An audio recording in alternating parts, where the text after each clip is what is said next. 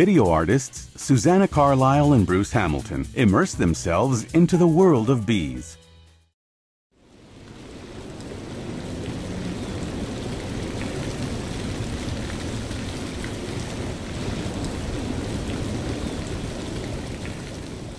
For the past 10 years or so, we've been very engaged with man's impact on the environment.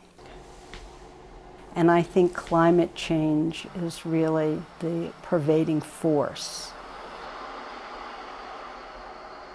We look at what we can address to really bring an awareness to this issue.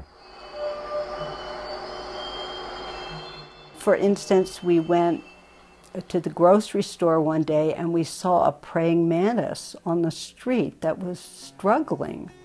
So we ran back home and got a um, mason jar and put the praying mantis in the mason jar and brought it back and put it on our portal and grabbed the video camera So it made us think about uh, insects which are disappearing faster than any other species.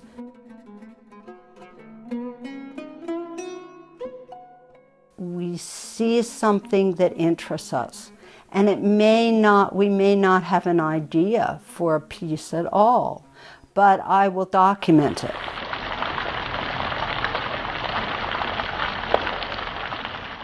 the discovery is not only what we find, but also what we learn in the process.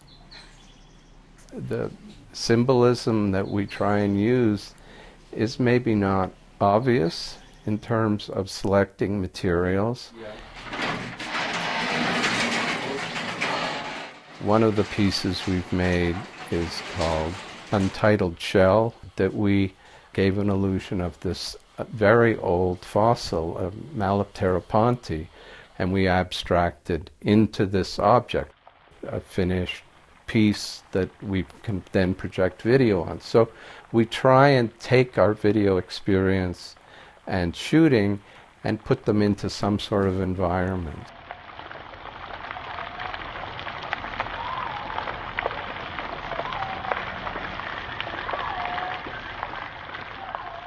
Susanna's recent shooting has all been on the bees. So we're out in the environment documenting their behavior. I do really um, want to feel what I'm doing.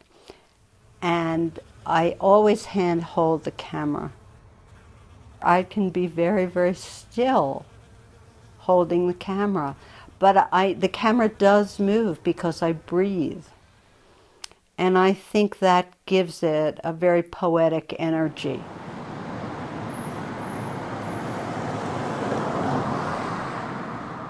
For the Bee Project at 516 Arts for the pollination series, the most important part is a meditative space.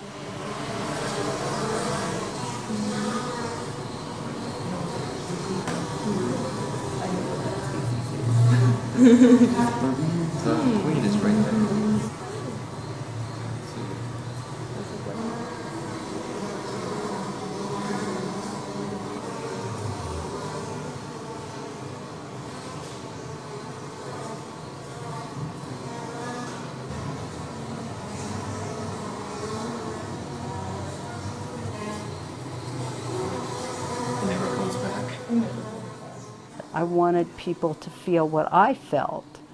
I wanted them to really see the beauty of bees by making, projecting them and making them bigger, and also to show the, the industry that they have, how busy they are, and how they have a really very structured life.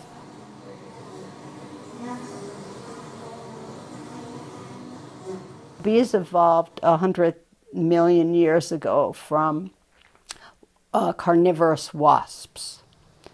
And then 87 million years ago, honeybees, they evolved concurrently with flowering plants.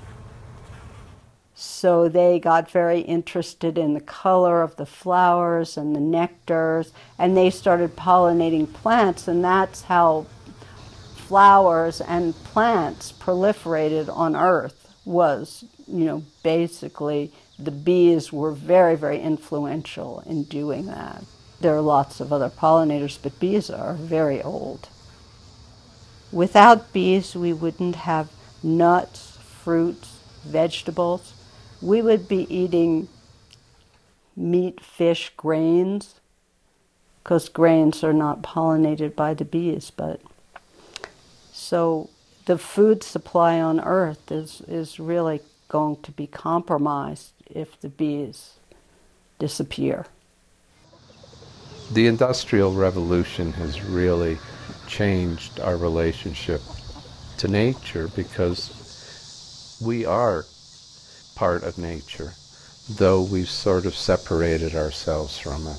And we can't lose sight of the natural world because if we do, we may be the next fatality in this extinction.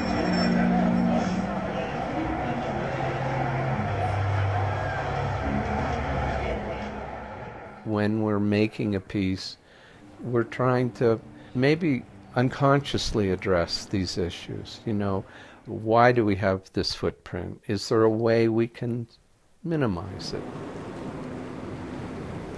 It's a curiosity. And it's a sense of appreciation and awe at what Mother Nature has created what we have on this planet. I think all we can do is really uh, bring forth what what we feel about something, and hopefully somebody will be moved by it.